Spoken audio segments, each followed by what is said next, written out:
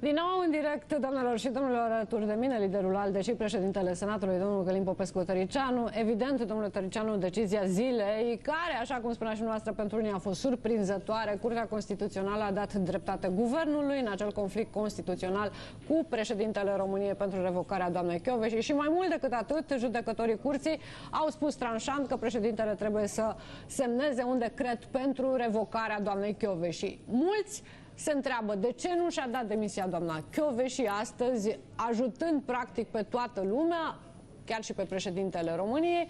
Iată, noi am reușit să facem uh, rost de o filmare cu domnia sa, moment în care doamna și explică cam ce ar vrea dânsa să facă după ce va pleca la, de la DNA. Evident, dânsa s-a gândit că va pleca abia la jumătatea anului viitor, când se încheie mandatul. Nu am avut niciodată planuri de a intra în politică. Știu că sunt foarte multe speculații și am mai spus acest lucru, nu doresc să candidez la președinția României. Am un plan și pentru următorii 5 ani și pentru următorii 10 ani. Planul meu nu vizează să candidez pentru funcția de președinte și nici să candidez nici senator, nici deputat, nici pentru altă funcție politică. Planul meu vizează doar lucruri care țin de justiție. Este un domeniu în care îmi place, un domeniu în care știu ce am de făcut și pe care nu doresc să-l schimb în acest moment. Ați luat în calcul în urma ultimelor evoluții să demisionați din fruntea DNA? Nu, în niciun caz. O să ne continuăm treaba și împreună cu echipa care sunt aici o să ne continuăm treaba la fel ca și până acum. Vă vedeți făcând altceva decât DNA? Eh, aș putea să devin mamă, nu? Da, astea sunt declarațiile domnului Chiove și dânsa neagă o posibilă candidatură la președinție, dar uh, cel puțin în mediul online uh, acum se încearcă o solidarizare pentru doamna Chiove și în defavoarea uh, deciziei Curții Constituționale și mulți o văd pe doamna Chiove și ca un fel de candidat al străzii. Apropo de prezidențial. Doamna Crețulescu, uitați ce se întâmplă. Asta e o chestiune foarte serioasă care în primul rând ne dezvăluie profilul acestei uh, persoane. Um, ea încă nu este conștientă, nu că este uh, părtașă, ci că a, a condus, a dirijat grave abuzuri uh, în justiție. Mai mult de atât, nu că a încălcat Constituția, ea a violat Constituția și legea.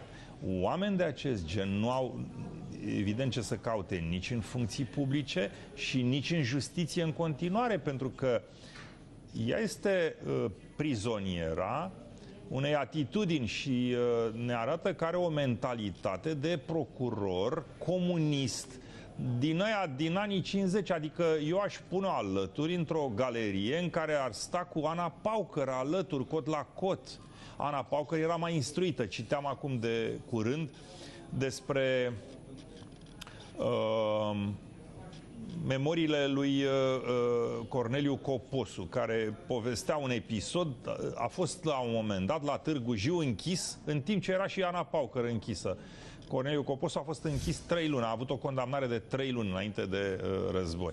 Și acolo a întâlnit-o pe Ana Paucăr și spunea că era o femeie instruită și era foarte detașat de Uh, mă rog, având în vedere suferințele pe care le-a avut, nu era marcat de niciun fel de, de sentiment de, de revanșă față de ea. Dar uh, Ana Paucăr a fost uh, un, un satrap și un, un om care probabil a, a avut pe conștiință la momentul în care ea era uh, un înalt lider comunist, viețile a zeci și zeci și sute de mii de oameni. Ea este de aceeași categorie cu Ana Paucăr, are același sistem de gândire. Deci nu există respect pentru lege, nu există respect pentru cetățean, pentru individ, pentru drepturi, pentru libertăți. Asta sunt noțiuni străine, n-are ce să caute. Nici în justiție. De Oamenii din justiție sunt oameni care au respect pentru aceste elemente fundamentale.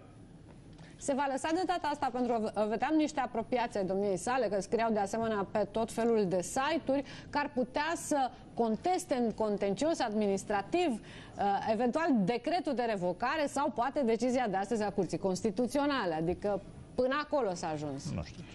N-am să comentez lucrul acesta că... Dar Deja... credeți că se va încheia? Adică vedeți că această poveste se va încheia în curând?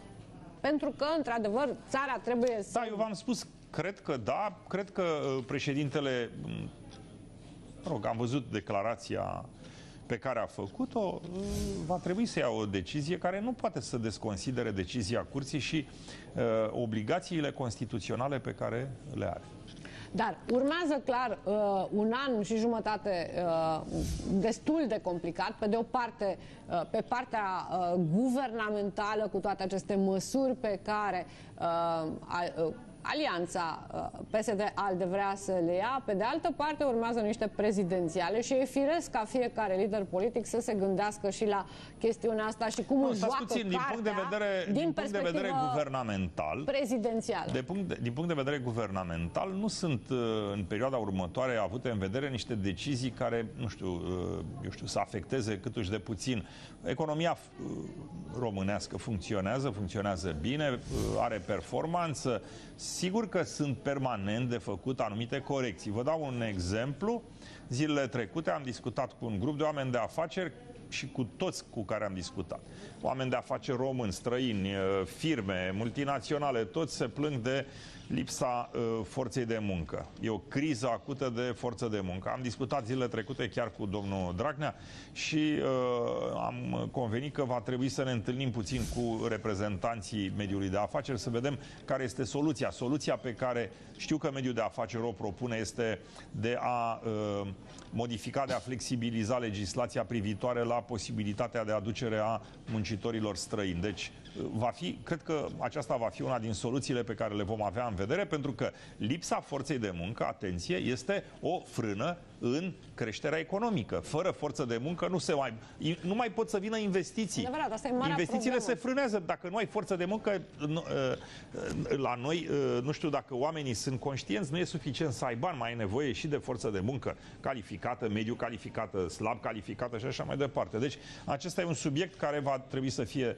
în, ă, să-l aibă în vedere după guvernul. Au 4 uh, milioane de români activi. Da, uh, ieri am vorbit, de exemplu, cu președintele Asociației Românilor din uh, Italia, cu Eugen Terteleac, care îmi spunea că a organizat bursa locurilor de muncă pentru românii din Italia a adus firme din România, Consiliul Județean Satu Mare. Cred că asemenea acțiuni trebuie multiplicate. De ce? Pentru că, din păcate, sunt economii în Uniunea Europeană, cum este cea din uh, Grecia, cum este cea din uh, Italia, cum e cea din Spania, poate într-o măsură mai mică, unde uh, stagnează nu e, și sunt români care au plecat, au imigrat și nu au loc de muncă, dar în, în același timp sunt locuri de muncă bine plătite în România. Nu, nu vă imaginați ce salarii poate să aibă în construcții un Macaragiu sau un muncitor, un dulgher uh, bine calificat sau alte calificări. În agricultură, un tractorist. Nu găsești, uh, sunt uh, um, oameni de afaceri care au ferme de mari suprafețe în România care mi-au spus, domne, e o problemă să găsești un tractorist. Tractorist sau un Asta înseamnă că trebuie Mecanic să crești... pe combină. Trebuie să crești veniturile. Da? Dumneavoastră, trebuie crescute guvernarea, și... ați crescut salariul minim pe economie. Nu numai salariul minim, stați puțin. Păi, ce s-a întâmplat în sectorul medical, ce s-a întâmplat în, în educație, am crescut salariile pentru ca această emoragie de forță de muncă să se oprească și să fie atractivă pentru a se produce reversul. Uh, eu sunt convins că încep să vină uh, și am auzit din diverse medii, din diverse medii am auzit, se întorc medici înapoi care au lucrat în străinătate, cărora li se oferă salarii comparabile cu ceea ce câștigă acolo sau nu neapărat strict comparabil nu, în, în valoare, dar avantajele pe care le au, faptul că sunt acasă, compensează, să zicem, o diferență uh, mică de salariu. Și din alte domenii. Deci lucrul acesta sunt convins că se va întâmpla. Nu știu dacă va, uh, uh, va, va cuprinde proporțiile unui fenomen de masă. Adică nu știu dacă o să vină toți 4 milioane. Probabil că unii dintre cei care au plecat și-au făcut acolo o situație. Sunt copiii la școală, s-au integrat și așa mai departe și uh, vor rămâne. Cum e, e și normal. Și până la urmă să știți că acest fenomen nu trebuie să ne surprindă. Îmi aduc aminte când eram prim-ministru, am discutat cu omologul meu spaniol, care mi-a spus așa, zice, pe mine mă bucură foarte mult că avem așa de mulți români în Spania. Ză, de ce? A, primul. Zice, domne, spaniolii care munceau pe 1000 de euro au plecat în Germania să facă același muncă pe 2000 de euro și au rămas locurile libere. Au venit românii să le ia. Bun. Doi, sunt pregătiți, sunt instruiți, au școală, sunt conștiincioși, muncesc uh, serios se duc duminică la biserică. Asta mi-a spus primul ministru Spania. Se duc duminică la biserică. Aluzie, mă înțelegeți. uh, România sunt foarte bine integrați și în Italia, la fel, am uh, informații. Uh, Dar cu toate nu, astea, nu, nu, nu trebuie să scăpăm aceste lucruri din vedere care a, au contribuit foarte mult la integrarea lor socială și economică. Dar sigur că sunt și unii care sunt afectați de criza economică și care în momentul de față își pot găsi un loc de muncă bine plătit uh, acasă. Da, să nu uităm că totuși în guvernare aveți niște priorități. Un lucru, într-adevăr, care a fost speculat politic este acesta cu pilonul 2, dar guvernul din care faceți parte a promis că într-un termen scurt, adică undeva până la începutul verii, va veni cu Nu, un dar stați proiect. puțin, știți, cu pilonul 2, într-adevăr, ați remarcat corect, este speculat politic uh, și uh, încercat a fi transformat într-o vulnerabilitate. Eu am spus și mai repet astăzi și pentru telespectatorii dumneavoastră. Pilonul 2, uh, în primul rând că am un rol uh, de paternitate, aș spune, pentru că era ministrul Vosganian, ministrul de finanțe, când am decis înființarea pilonului 2. El este considerat ca o formulă nu alternativă, ci suplimentară de uh, creștere a pensiei pe care o ai în momentul în care te-ai retras uh, din, uh, din muncă. E bine, ne punem însă niște întrebări firești. Acest pilon 2 uh, a adus randamentele scontate? Prin Nu. urmare, merită cetățeni să investiți în continuare? E o întrebare pe care cred că avem dreptul să ne opunem și ne opunem în interesul cetățeanului. 2. Aceste fonduri de pensii au adus vreun avantaj economiei românești? Au investit în economia uh, românească? Relativ. Bă, Eu am văzut niște date și vă spun că nu sunt atât de Sunt multe mulțumit. titluri de stat, dar în Nu. egală măsură avem Păi și da, da, titlurile de stat nu societățile sunt o de- investiție. Nu sunt, da, avem și societăți de comunicații uh, și la firme de Deci, constructoare de întrebarea mașini. este a, și... cât au contribuit, de exemplu, uh, prin investițiile care le-au făcut la dezvoltarea industrială. A- Avem dreptul să ne punem aceste întrebări? Absolut. Da, eu vă spun că avem dreptul Și și, și, care le e pun răspunsul? toți. Au contribuit? Nu am încă răspunsurile, guvernul face o evaluare și sigur că cei care vor dori să rămână în continuare să cotizeze la pilonul 2 nu vor avea niciun fel de restricție. Dar când va veni decizia această a, a opțiunii, pentru că Da. seara aici în platou România TV, ministrul muncii, domnul Alia Olguța, Vasescu v-a spus că e clar, va fi opțională. Dar ca să devină opțională, trebuie să schimbi legislația, adică să vii cu o nouă Nu lege. e atât de complicat și cred că în condițiile, sau dacă vreți, în momentul în care vor avea această uh, evaluare, ne vor prezenta și nouă la nivel politic și se va lua o decizie. Nu e, da- dar nu trebuie să sperie pe nimeni. Repet, pentru că cei care vor să contribuie în continuare la pilonul 2 vor putea să o facă, e, e, cum există și pilonul 3 de pensii, care e total privat, nu e obligatoriu. Cine îi oprește pe oameni, de exemplu, să contribuie la pilonul 3? Cei care astăzi să văicăresc de pilonul 2. Că, auleu, Da, Doamne dar acolo- ferește, să desfințează. acolo Nu se e desfințează. opțional, vii tu cu nu, nu, bani în plus. nu se desfințează, nu sunt afectați cei care au contribuit. Uh, sigur că pilonul 2, pot să vă spun ceva, are și niște avantaje. Pilonul 2 față de pilonul 1 are, de exemplu, un avantaj care e foarte important. Și anume, o persoană care a contribuit la pilonul 2 are la m, împlinirea vârstei de pensionare posibilitatea să primească banii pe care i-a depus la pilonul 2 în două formule. Ori deodată toți banii, ori eșalonat pe o perioadă de 20 de ani, să spunem. Da? Dar se poate întâmpla un accident. Persoana care a contribuit la pilonul 2 să decedeze. În acest caz, familia moștenitoare poate să beneficieze de acești bani, lucru care nu se întâmplă cu pilonul 1. La pilonul 1 cine a murit, gata, s-a încheiat, pensia s-a oprit, nu revine moștenitorului.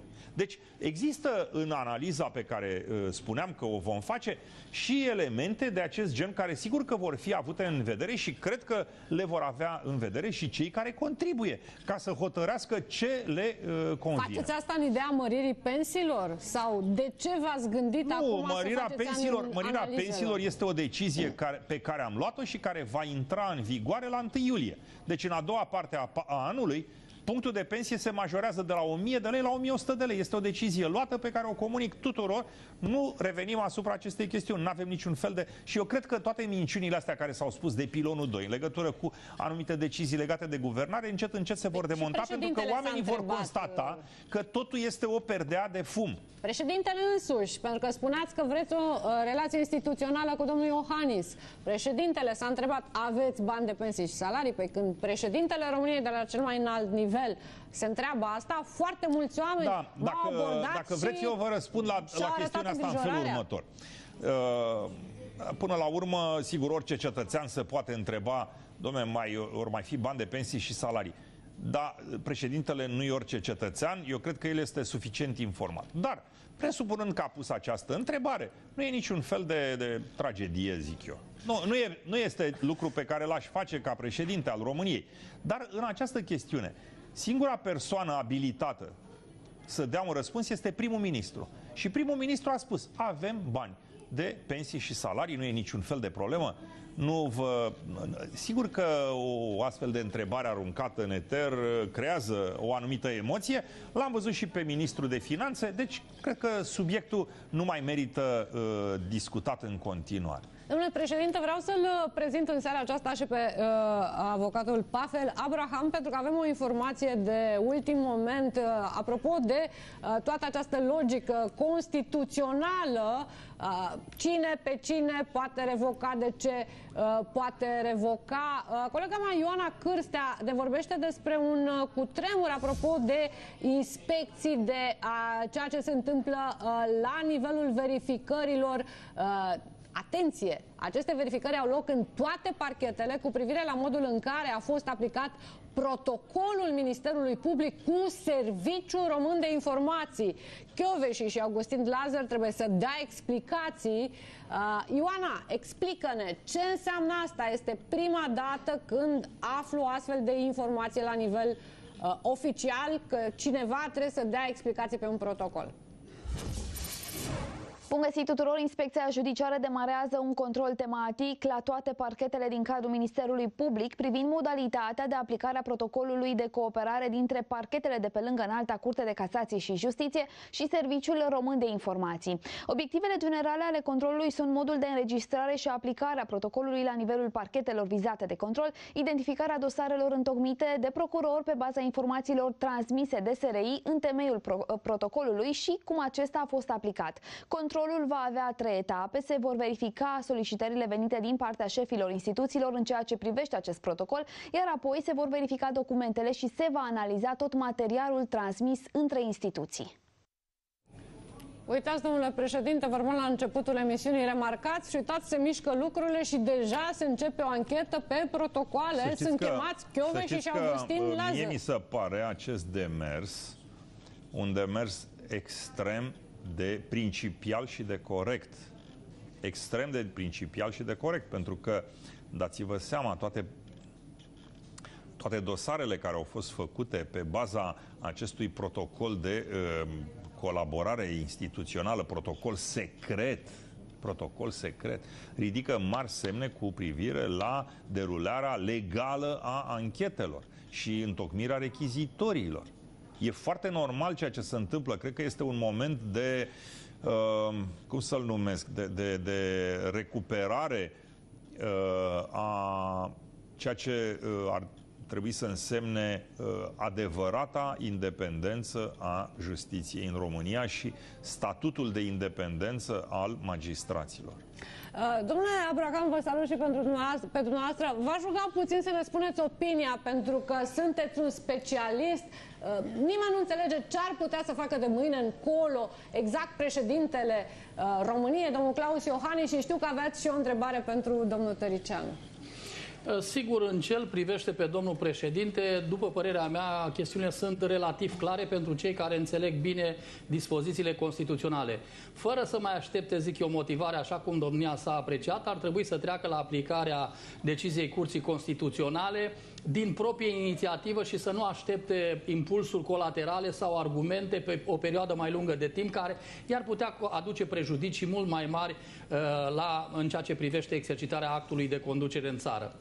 Deci asta ar fi o primă chestiune. Asta o spun pentru că nimeni nu ne va putea da nici măcar o prevedere constituțională prin care președintele să fie implicat în problemele de justiție. Constituția relev.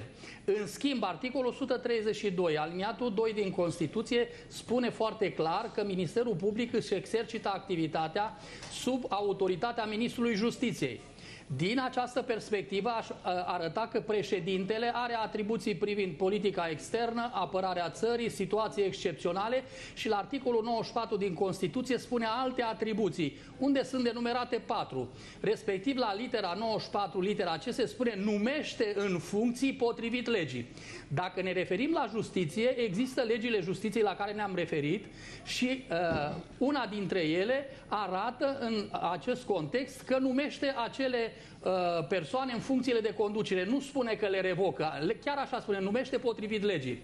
Ori acum, așa cum am arătat, dacă domnia sa a tranșat la Curtea Constituțională prin sesizarea ministrului Toader situația conflictului de, co- de competență uh, constituțională, și aceasta a fost acceptată, s-a spus în mod clar că acum uh, acest conflict uh, de natură constituțională trebuie, a fost tranșat de această manieră. Am auzit foarte multe voci în ultima perioadă care spun aoleo, se va putea, președintele mai are o șansă, că pe chestiuni de legalitate va putea să uh, dea un răspuns curții acum. Nu, Obiectivul a fost, a fost tranșat de către curte, va fi publicat și motivat la un moment dat, cred că în vreo lună de zile, în monitor oficial și de atunci este absolut obligatorie și mutarea pentru președinte aceea. Dânsul a făcut observații de temeinicie și nu de legalitate.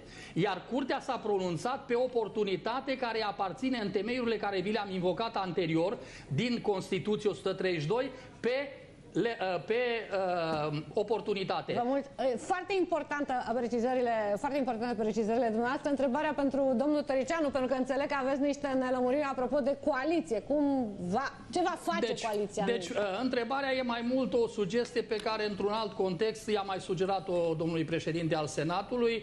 Am văzut că dânsul adoptă un comportament democratic, aș spune, solidar de mai mult timp și trebuie să continue pe această cale. E un mod democratic de a, aproba, de a promova problemele justiției. Am văzut că se va înființa o comisie la inițiativa domniei sale sau a alianței la putere. Eu cred că acest lucru este unul bun, este necesar și mai ales cu informația care ați dat-o dumneavoastră acum în câteva momente, că se fac pe toate județele verificări cu privire la modul în care s-a aplicat uh, protocolul dintre SRI și parchetul general, ar fi bine ca în acea, acea comisie să aibă și o dispoziție imperativă, în sensul că ar trebui să dea tuturor celor care într-o formă sau alta au fost implicați, constrânși, au făcut-o de bunăvoie, din neștiință și au aplicat aceste protocoale, mai ales că majoritatea sunt juriști și ar fi trebuit să știe acest lucru și primul lucru a unui uh, magistrat uh, procuror este să-și verifice competența. Trebuiau să facă acest lucru, dar poate din vari motive n-au făcut acest lucru. Să li se dea un termen, o lună, două, trei, cât va, va aprecia Parlamentul României, în care să vină ei și să arate aceste lucruri. Știți, românul nu spune uh, cuiul pe cui se scoate, denunțul cu denunț se scoate și atunci să vină și să-și prezinte cei care se consideră că au fost implicați, în ce limite și cum au fost implicați. Cei care s-au implicat de o manieră care intră sub incidența legii penale să răspundă penal. Ceilalți nu este necesar, așa cum spunea foarte bine domnul președinte al Senatului, nu neapărat trebuie să răspundă. Pot fi găsite soluții prin care în aceste persoane să-și continue activitatea, să ne, poate să ne în altă explice, domnul Tăricianu, foarte uh, importante chestiunile, pentru că asta ne spuneați, comisia aceea care sună așa puțin ca sună bine, pentru lui adevăr. Uh, Robespierre, dar uh, până la urmă asta e întrebarea cheie și am văzut multe, uh, mulți oameni mi-au scris pe Facebook întrebând asta. Pe cine veți aduce acolo? Cum veți organiza nu, dacă putem... sunt 60 de protocoale? Uh, nu, uh, doamna Crețulescu, îi mulțumesc uh, domnului Abraham pentru comentarii și pentru sugestii. Uh, ce vreau să precizez este că nu aducem, nu, nu aducem pe nimeni cu forța. La această comisie vor putea să vină să depună mărturie cei care consideră că au ceva de spus adică nu va fi și care au, poate, și-au, și-au făcut un proces de, de conștiință Aha. și uh, cred că aceste lucruri spuse vor contribui, așa cum uh, am subliniat mai devreme, la uh, eliminarea acestui putregai din zona justiției. Și sigur că cei care vor veni uh, vor fi absolviți repetând, repetându-vă faptul că Comisia nu stabilește vinovății, noi nu ne substituim justiției, este justiția care trebuie să-și facă datoria, dar am subliniat un lucru, că cei care vor veni la comisie să depună mărturie, să aducă uh, lucruri relevante la cunoștința uh, comisiei și a Parlamentului, care este o instituție esențialmente democratică în care sunt reprezentate toate curentele uh, politice, toate partidele parlamentare, trebuie ea să fie în măsură ca pe baza acestor uh, mărturii să facem corecțiile necesare da. pentru ca Ați pe de o avut parte cazul... să îndepărtăm aceste, uh, aceste uh, derapaje și abuzuri și pe de altă parte să le prevenim pentru viitor. Sună foarte Da? bine, dar ați avut cazul doamnei Chioveși, care de 4 sau 5 ori a refuzat să vină în fața Parlamentului. A să ignorat știți că aici, Parlamentul. A ignorat. Nu, nu, nu, a refuzat practic, n-a ignorat. Nu, aici v-am spus, nu este o chestiune de că nu convocăm, Adică nu nu, adresați- convocăm noi. Vine cine, cine consideră că uh, Știe ceva. știe ceva și nu numai atât. Probabil că sunt mulți care știu. Dar unii nu vor să spună. Unii sunt de acord să spună, da, își dau seama că lucrurile au mers prea departe, că s-a, s-a ajuns la un derapaj grav de la statul de drept și vin să, să spună. Deci e o încercare. Eu cred că a, acest lucru nu va putea să fie refuzat nici de cei din opoziție, pentru că în- demersul nostru este pentru Adică vă însănătoșirea vedeți alături sistemului de, de justiție. USR sau de PNL? Nu, nu mă văd alături. Eu, eu cred că această comisie... Audind oameni din servicii uh, Nu, și ascultați-mă, devoalând această lucrurile comisie astea. fiind o comisie parlamentară, sunt toate partidele reprezentate în ea. Nu este comisia coaliției, nu e comisia... Sigur că noi o inițiem, a- noi avem această inițiativă, dar asta nu înseamnă că uh, opoziția este exclusă. Eu cred că opoziția trebuie să-și aducă rolul uh, să-și aducă contribuția, scuzați-mă, să joace rolul necesar într-un parlament. Pentru că e clar, această zi este extrem de importantă. Uitați, avem breaking news după breaking news. Un fost membru al uh, CSM-ului, uh, domnul Toni Neacșu, uh, a identificat uh, niște chestiuni extrem de interesante ce poate comite președintele în timp ce o ține, dacă o ține așa a la lung pe doamna Chioveși în fruntea DNA-ului. Uh, chiar domnul Toni Neacșu ne explică foarte scurt. Uh, bună seara, vă ascultăm. Bună seara!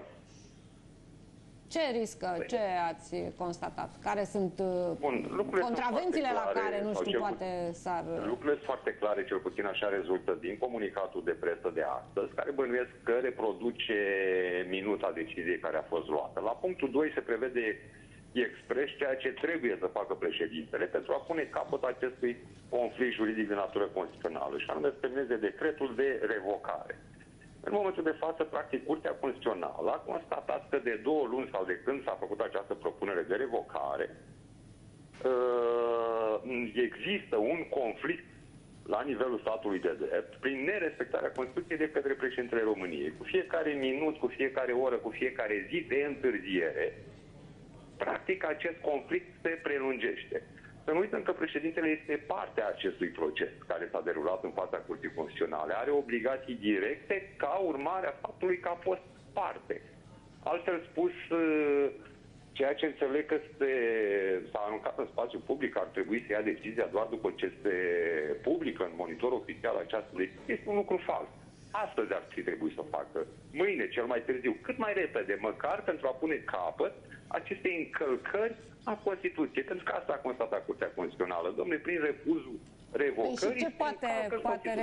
res- risca președintele? Că nu știu, în cazul uh, circulației, de exemplu, ori te duci în contravenție, ori în faptă penală, dar în cazul domniei sale ce poate fi? La, uh, președintele, în momentul în care nu respectă Constituția, nu există decât o singură sancțiune și anume suspendarea acestuia și, mă rog, punerea sub acuzare de către Parlament. Dar eu sunt convins că nu se va ajunge acolo. Cred că are spătuitori buni, are juriști buni la Palatul Cotroceni, uh, care cu siguranță îi vor spune că începând de astăzi are anumite obligații pentru a pune capăt, repet, acestei încălcări a Constituției, că despre asta este vorba. În momentul de față avem o Constituție care este călcată în picioare. Vă mulțumesc foarte mult, domnule Toni Nașu. Domnule uh, președinte, chiar cred că această întrebare nu v-am adresat-o. Evident, chiar și în interiorul coaliției, uh, l-aș nominaliza aici doar pe domnul Șerban Nicolae, se pune pe tapet și chestiunea asta a suspendării. Nu, nu se în pune. Ce Nu deloc? se pune. Asta chiar vreau să vă întreb. Există vreo situație în care nu, nu coaliția ar apela nu la pus așa și ceva? nu se pune, pentru că eu v-am spus uh, indirect uh, la începutul emisiunii care este părerea noastră și anume că noi nu urmărim o logică de confruntare. Din contră, eu sper ca după această decizie a Curții Constituționale, unde președintele a avut dubii, sfătuit prost, după părerea mea, de consilierii săi, să refuze revocarea, uh, să revenim la o logică de cooperare interinstituțională care este necesară pentru țară, care este necesară, a spune, având în vedere că România mai are uh, șase luni uh, și șapte luni, scuzați-mă, și preluăm președinția uh, Consiliului European. Deci uh, avem alte probleme mult mai importante decât să stăm într-o confruntare cu, uh, între noi, cu, cu președintele. Dar nici, de, domnule de față. președinte, dar Da. nici să lăsați să meargă în continuare acest lucru, sigur, poate nu trebuie abrupt mers la ideea de suspendare, deși sunt elemente suficiente, acesta ar fi capacul, din punctul de vedere a unui cetățean, nu a politicianului, dar aș spune, cred că domnul președinte a avut o scuză până acum, că n-a știut, nu este jurist, este profesor de fizică, că n-a avut sfătuitori buni sau că a avut, dar nu i-a crezut. Din acest moment, dânsul se găsește în întârziere. Cea Sigur, mai de acord. potrivit potrivită măsură este o conformare voluntară din partea domniei sale, nu Exact. cu condiții să se motiveze, că n-are, aici nu există cale de atac ca și în, în justiția obișnuită. Și din această perspectivă, domnia sa ar salva într-o oarecare măsură o aparență care îl acuză și bine a spus anterior domnul Neacșu, dânsul este în echipa aceea, în opoziție, de aceea nu poate adopta o altă atitudine. Lucrurile sunt clare pentru toată România de un an de zile, de când dânsul, eu cum am spus foarte frecvent, nu vede, nu aude, nu înțelege și mai ales nu simte spiritul românesc major din țara asta. Este adevărat că mai nou a luat naștere o profesie de mitingiști și care cum sunt nemulțumiți, 10.000, 100 de mii, nu știu câți, oricâți, ies în stradă. Nu aceasta este măsura. Deci trebuie luate măsuri și Parlamentul trebuie să se gândească nu numai că nu vrem să dispunem suspendarea. Nu, sigur că nu se dorește asta. Sunt convins că ar fi o prostie. Mai ales că ne pregătim, cum bine a subliniat dumneavoastră, pentru preluarea președinției Consiliului European. Dar asta nu ne scuză acum cu orice preț să creăm un precedent periculos și să mergem a la lung, că nu, dânsul nu A- are apropo timp să de se președinția gândească. Consiliului European, chiar vreau să întreb pe domnul Tăricianu, din perspectiva aceasta, cum ar trebui să arate România și, uh, apropo de guvern, dar și de uh, șeful statului? Cât să fim serioși și să nu facem acolo uh, o impresie proastă? Că ne-am Până săturat acum să am să fim vă spun cea ceva, mai nu știu coruptă dacă, țară și cea nu știu mai dacă, nu știu conf- cum. nu știu dacă conflictele astea sunt neapărat dovada unei lipse de seriozitate, dar uh, este evident că uh, ele trebuie evitate în astfel de perioade cu precăderi. Uh, Sunt de acord cu observațiile domnului uh, Pavel Abraham, numai că vreau să fac o remarcă complementară. Să știți că acum de-abia se vede care este uh, consecința asumării rolului de președinte jucător de către președintele în funcție pentru rolul um, în defavoarea rolului de președinte mediator în societate, între instituții, în caz de conflict. Deci, la noi Constituția este atât de, de complicată și cred că ea a fost gândită pentru niște situații ideale, adică se presupune că președintele odată a ajuns la uh, Cotroceni, persoana care este candidat aleasă ajunge la Cotroceni, se detașează complet de zona politică, ceea ce evident că nu e cazul. Domnul Abraham a remarcat, uh, președintele în România pare de fiecare dată să fie jucător cu, uh, nu știu, ori majoritatea, ori opoziția. În ambele cazuri nu e bine. Că el nu trebuie să fie jucător. Dar numai că această uh, ipostază a fost uh, dusă pe culmi uh, de, de fostul președinte, care pare să fie inspirator și pentru succesori, ceea ce este total greșit. Sunt de acord cu dumneavoastră, dar aș vrea să spui că, spun că fostul președinte era mult mai abil din această perspectivă. Sigur că și dânsul specula la limita legii anumite uh, articole și de aici a și plecat.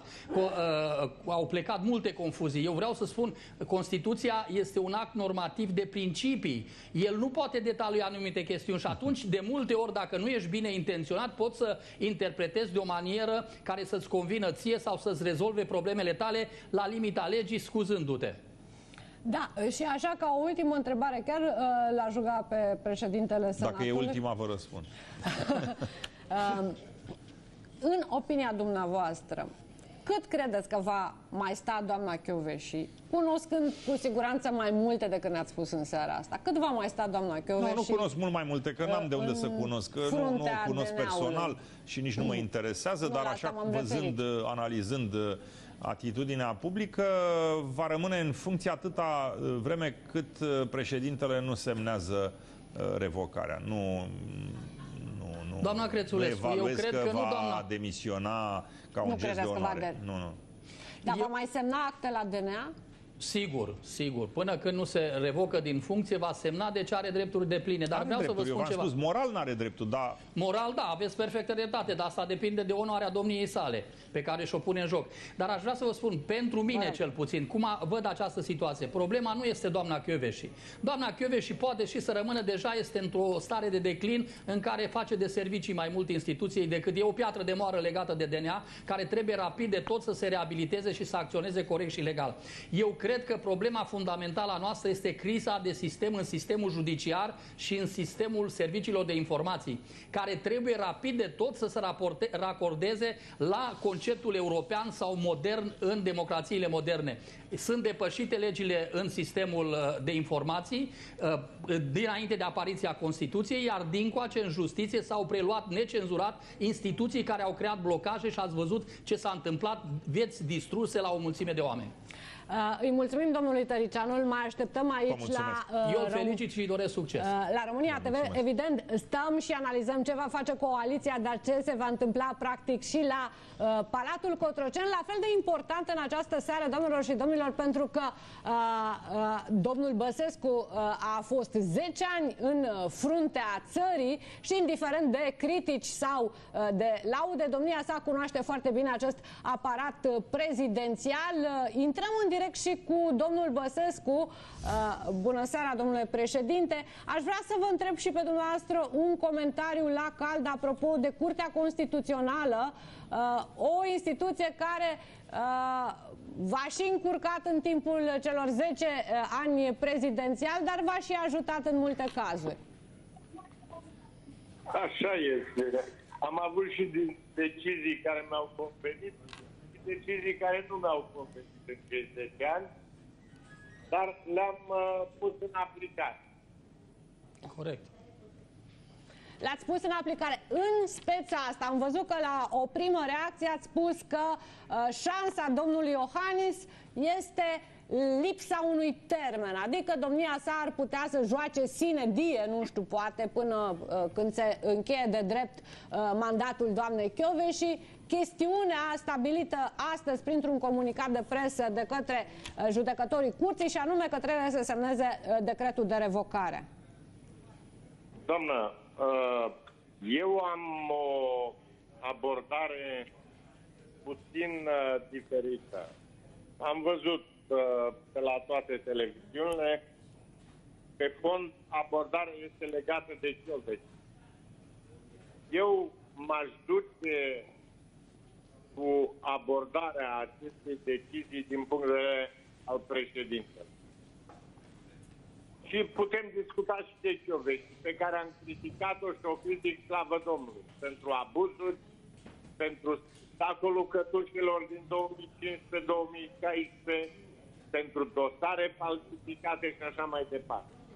Dar decizia Curții Constituționale este mult mai profundă din punct de vedere a atribuțiunilor președintelui României. Uh, pentru că, practic, îl uh, subordonează pe președinte ministrului justiției. Ne place, nu ne place, asta e ceea ce se întâmplă. Deci când orice ministru al justiției va face un raport către președinte că nu știu ce procuror șef sau procuror șef adjunct sau procuror șef de secție are uh, lucruri pe care le-a făcut în regulă, președintele este obligat să-l schimbe. Ori acest lucru creează un precedent formidabil. Ministru, gândiți-vă că ministrul de externe îi propune președintelui ambasadori. Președintele semnează decretele și după un an vine mă, ministrul mă, de externe și spune din aceste motive trebuie schimbat. Dar acel ambasador are un mandat de patru ani. Președintele trebuie să execute concluziile din raportul uh, ministrului de externe. Păi spuneți că e Gândiți-vă la la fel mine. la ambasadori, pentru că din câte știu eu, dar evident că dumneavoastră știți mai bine ca mine, președintele are într-adevăr această componentă esențială pe politica externă, dar nu are în egală măsură pe justiție. Uh, Doamnă, îmi pare rău. Președintele prezidează CSM-ul atunci când participă la ședințele CSM. Este adevărat, dar asta Da. înseamnă că are drept de veto în, fa- în favoarea sau în defavoarea oricărui procuror? Uh, Eu cel puțin l-am avut. Da, este adevărat. Pentru că Da. n-a sesizat nimeni curtea, adică nu va contrazis niciodată nimeni. Nu m-a contrazis niciodată Niciun nimeni ministru și- de uh, și- justiție nu va contrazis. Dacă vă Da, contrazicea, și am avut foarte mulți miniștri ostili. Doamna Crețulescu, Vă rog. hai să o lăsăm cu dacă, că eu știu care e politica postului. Dar vreau să duc lucrurile acolo unde uh, sunt de dus. Că nu e important că s-a cerut de Curtea Constituțională revocarea lui Chiovești. Important este lucru fundamental din această decizie, este că președintele trebuie să execute voința ministrului. Ceea ce face din președinte un președinte decorativ, iar președintele României, conform Constituției, este partea executivului. Nu-i nici președinte de protocol și are dreptul să exprime puncte de vedere legale și de oportunitate. Uitați-vă în Constituție, președintele întoarce legi înapoi la Parlament pe considerente de constituționalitate și oportunitate. așa este. Ăsta- Și ăsta eu, e ca mandatul jurnalist, am președintelui. remarcat că această decizie a Curții Constituționale de la sesizarea uh, guvernului poate schimba într-un fel logica puterilor în statul român. Așa este. Dar nu știu dacă o schimbă în defavoarea Constituției sau în defavoarea sau altfel decât am avut-o în ultimii 10-15 ani. Doamnă, nu știu în ce logică. Cert este că președintele, după această uh, decizie a Curții Constituționale, devine un executant al voinței ministrului. Important ceea ce, Ce? important ceea ce spuneți. În opinia dumneavoastră, Deci, câtva...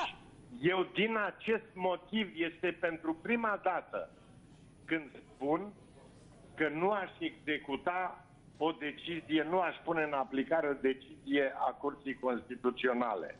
Se întâmplă o schimbare a uh, o, o rearanjare a puterii în stat, nu urmarea prevederilor constituționale, ci urmarea unei decizii a Curții Constituționale care viza un om, pe Chiovești, pe care sunt motive întemeiate să fie schimbată. Eu n-aș schimba-o din alte uh, motive, dar afectarea atribuțiunilor președintelui și transformarea lui într-un executant este o gravă modificare a voinței constituționale.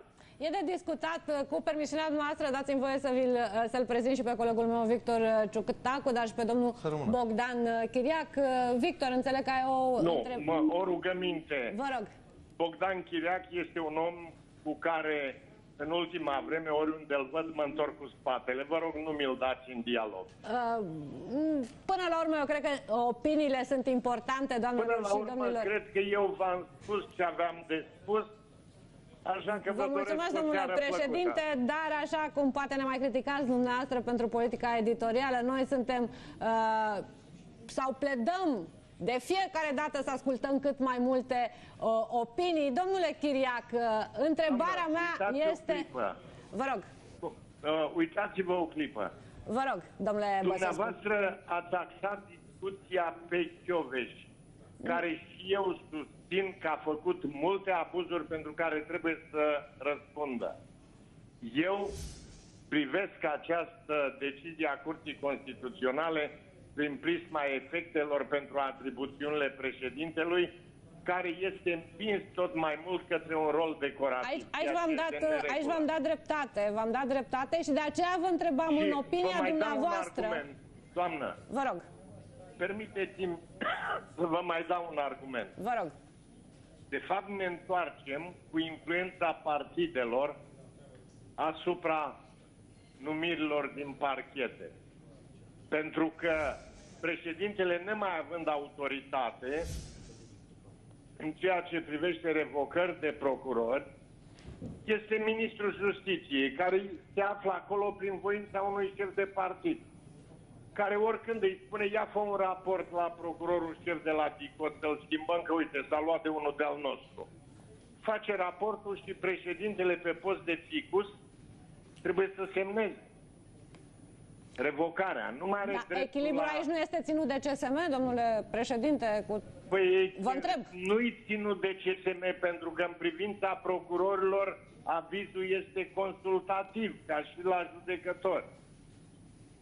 Deci, responsabilitatea acestei decizii este enormă prin prisma atribuțiunilor președintelui și prin prisma faptului că numirile de procurori, de adjuncți aici, șefilor din parchete, șefilor de secții din parchetele mari, revin din nou la influența politică.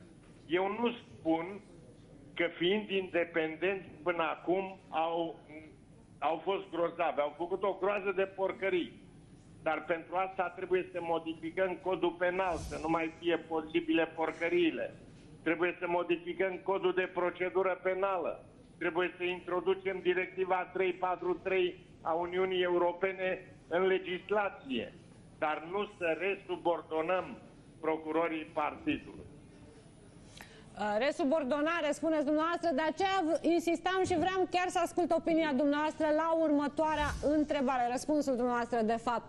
Din punctul dumneavoastră de vedere, acest președinte care într-adevăr îi se schimbă logica odată cu uh, decizia Curții Constituționale de astăzi, indiscutabil în raport cu Ministrul Justiției, se, uh, întrebarea este următoarea, domnule uh, președinte. Ce se va întâmpla de acum încolo? Adică dacă această decizie a curții poate fi reformulată sau poate fi atacată de președintele în funcție sau de un președinte următor? Doamna, deciziile Curții Constituționale nu pot fi corectate decât tot de Curtea Constituțională. Mai avem decizii ale Curții Constituționale care au fost modificate. Deci Curtea nu întotdeauna perfect consecventă. Să spun, am mai dat o decizie de asta în 99, deci uh, le-am mai nuanțat. Pentru că și Curtea Constituțională e o uh, instituție politico-jurisdicțională, nu e doar una jurisdicțională. Vă mulțumim foarte mult pentru vă mulțumim foarte mult pentru această uh, intervenție. Da, uh, cred că aici a fost punctul pe ei, Victor, nu tot curtea poate eventual schimba dacă vrea să schimbe ceva de astăzi. Să că obișnuit cu eratele dacă ne aducem aminte. Da, da, așa e. Există un precedent de marcă cum ar fi suspendarea și ulterior referendumul pentru demiterea domniei sale. Ce vedem ora viitoare, Victor? Vedem 10 invitați de marcă, Andreea, care vin în studio alături de mine. Sunt cei mai buni specialiști și discutăm la România TV despre operațiunea de salvare a Codruței Chiuruși și devoalăm planul împotriva deciziei istorice. Discutăm și despre actul demiterii Codruței Chioveși și aflăm în premieră ce decizie a președintele Iohannis. Rămâneți alături de noi, chiar merită, domnilor și domnilor, maratonul continuă. Lume, lume!